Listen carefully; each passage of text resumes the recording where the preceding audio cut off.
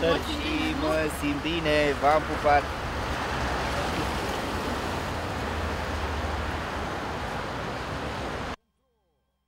Bună ziua, prieteni! Bun găsit uh, la Versus! L-ați văzut pe Laurențiu Regenkamp astăzi după întâlnirea cu Gigi Becali, ieri după victoria Stelei 2 la 0 cu uh, Astra. Suporterii Stelei nu știau ce să mai creadă pentru că uh, se vedea acolo o sămânță de scandal între Laurențiu Regenkamp și uh, Gigi Becali. N-a fost cazul, cei doi s-au întâlnit astăzi la Palat, au pus uh, toate lucrurile la punct și vom vedea și declarații, vom vedea ce a spus patronul Stelei uh, după această întâlnire cu uh, Regenkamp. Uh, tot mai târziu în Versus o să vedeți și imagini inedite de la petrecerea Stelei jurnaliștilor, pentru că, așa cum bine știți, astăzi Dumitru Dragomir a luat decizia ca ultima etapă din 2012 să nu se mai joace, așa că toate echipele au intrat în vacanță uh, și steliștii petrec uh, chiar de astăzi și veți vedea uh, imagini. Lângă mine în studio, doi foști steliști, avem pe Leo Strizu și Vivi Răchită.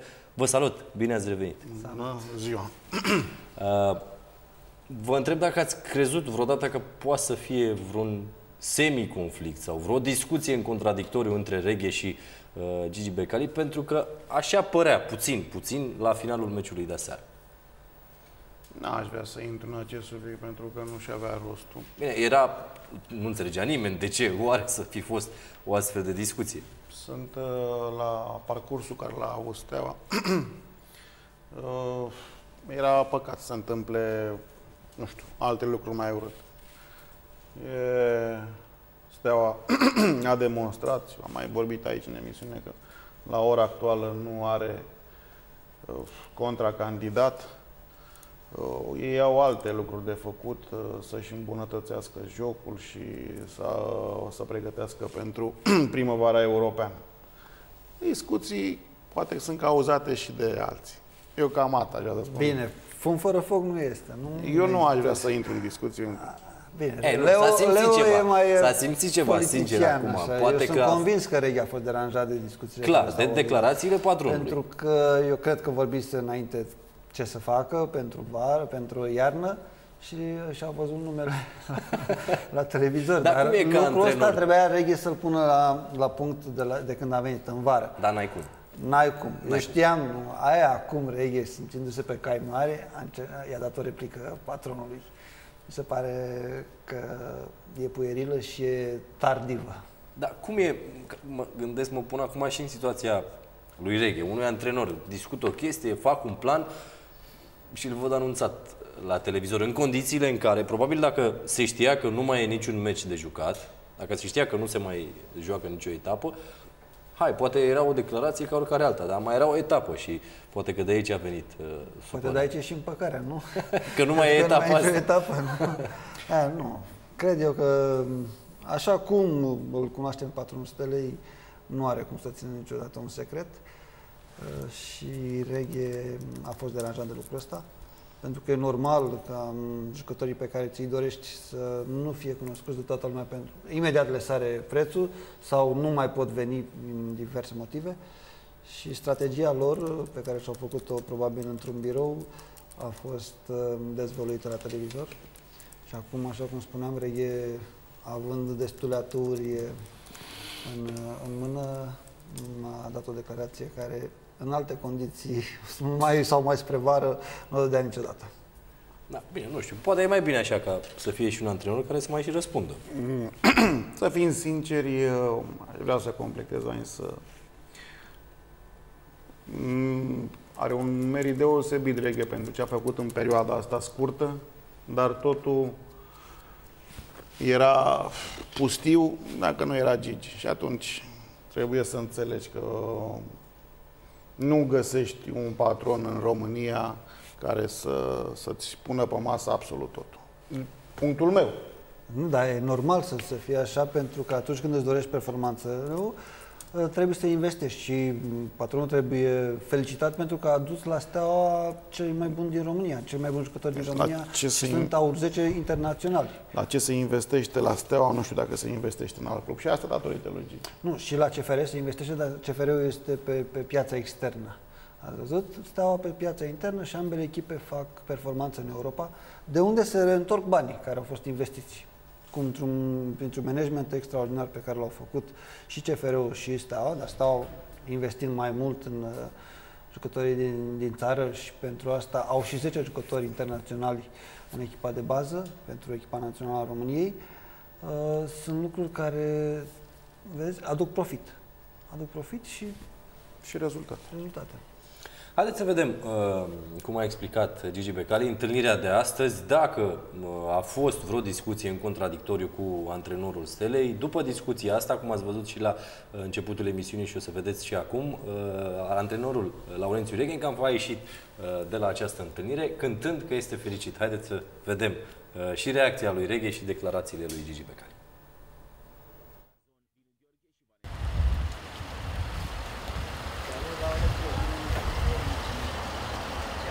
Felicitări! Și mă simt bine, v-am pupat!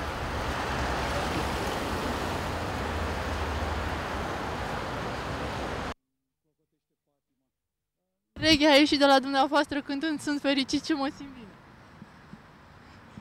Ah, da. Deci... e, A venit să îmi spună că se întâlnește cu băieții, fac o petrecere, a seara asta de sfârșit de an. Vă duceți degeaba, că nu e cu presă cu astea. E o întâlnire a lor, în familie. Vă duceți și dumneavoastră? Eu nu mă duc. Nici măcar să ciocniți un pahar cu ei. Eu i-am zis, bă, dacă faceți la, la club, vin. A zis că fac cu lăutari. Eu nu-mi place cu lăutari. mie. Nu-mi place că e, nu, nu mai îmi place gălăgia. Eu hai să fie sănătoși, să se distreze ei, sunt tineri. Ce să caut eu? Ce să... Eu, pe mine, eu petrecerea mea o fac la fiecare meci, după meci, când e victorie. E la mine petrecere în inima mea și petrec în fiecare victorie. Și am petrecut deja că călămăria ta tot anul ăsta în continuu numai petreceri de inimă. Că eu la mine petrecerea e în inimă, nu mai e cu muzică. La mine inima se distrează, nu mai se distrează corpul, mai înțeles? De obicei chemați pe băieți la final de an să ciocniți un pahar de șampanie. Știu că anul trecut așa. Bă, acum, ce să-i mai chem? Ce să-i mai chem? Nu mai am de ce să-i mai chem. Dacă era un punct două, îi chemam. Acum, ce să-i mai chem? Sunt prea puternici. Ce să mai... Suntem campioni deja. Na, mă. Au luat și... Ce a spus? Să-i las liniștit? I-a trecut supărarea de seară? N-a avut nicio supărare. Chiar m-a sunat aseară el. Ce, ce zic domnule ăștia? Doamne ferește, păi eu am spus în glumă. Păi eu am zis în glumă, ce mai e nevoie de mine atunci? Că dacă sunt destule puncte, gata, s-a luat campionatul, atunci nu mai e nevoie de mine. A zis omul în glumă. S-a interpretat și, a, bine. Deci nu l-a deranjat nimic? Nimic, nimic, nimic. Nimic, chiar nimic. Și acum ce a spus? Ce ați discutat? L-ați felicitat? Bă, ne, bă, e o situație că nici măcar să feliciți nu mai aici. Adică e prea așa de mare diferența și așa de războiul câștigat, încât nici nu mai, adică numai dintr-o privire, numai cuvintele nu mai au rostul. Numai întâlnirea, numai strângerea de mână, îmbrățișarea înseamnă tot. Înțelegi? Spui totul printr-o îmbrățișare. Nu mai e nevoie să mai spui cuvinte. La ce a făcut el. Am văzut și pe Latoș și pe Rusescu aici, lor ce le-a spus sau ce... De ce au venit?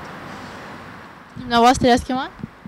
Da, i-am chemat eu pentru că le-am spus, adică ca să transmită la echipă. Ei erau pe aici, aproape am vorbit cu ei și ziceam, ia te și mă pe aici. I-am chemat. Și ca să le transmit ultimele lucruri, adică ce bă, prime cu tare, că le-am promis prima 10.000, nu? Și acum le-am zis, bă, spune la băieți că o să le dau prima asta de 10.000 care le-am promis-o, că le-am promis un singur, o să le dau înainte de sărbători și o să le dau și prima de calificare europeană tot înainte și ca să fie și ei mulțumiți, pentru că bă, au o viață ușoară, au o viață grea. Da, l-am ascultat pe Gigi Becali, n-a fost niciun conflict, cel puțin așa după o noapte din asta liniștită și m- stat așa puțin pe gânduri. Uh, oricum, repet ceea ce am spus, era și greu să fie vreun conflict uh, la Steaua în momentul ăsta, 10 puncte față de locul 2 uh, de Astra. S-a terminat și prima parte a sezonului cu două etape jucate din retur. Una trebuia să se mai joace în, în acest sfârșit de săptămână, dar s-a amânat. A amânat o mitică Dragomir din cauza vremii proaste de afară. O să vedem și clasamentul și să vă întreb dacă este Steaua campioană, pentru că deja cam asta se, asta se spune. Ce este un lucru foarte sigur, că nu are cum să mai pierdă titlul decât pe mâna ei. Eu nu știu dacă este campionă, șanse mari le are, dar eu nu văd a doua echipă care să, să fie campion.